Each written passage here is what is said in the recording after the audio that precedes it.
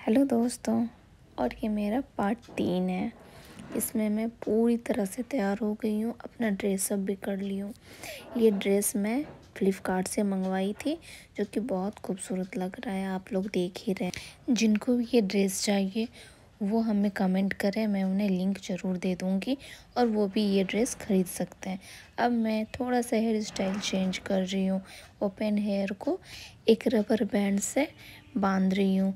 ये देखिए मेरा नया लुक कितना सुंदर लग रहा है ना। ये लुक सब पे अच्छा लगेगा। जितनी भी कोई भी, चाहे वो जिनकी शादी हो गई है, जिनकी नहीं भी हुई है, वे अपने वैलेंटाइंस डे के दिन ज़रूर ट्राई करें। ये देखिए मेरा सेकेंड ड्रेस।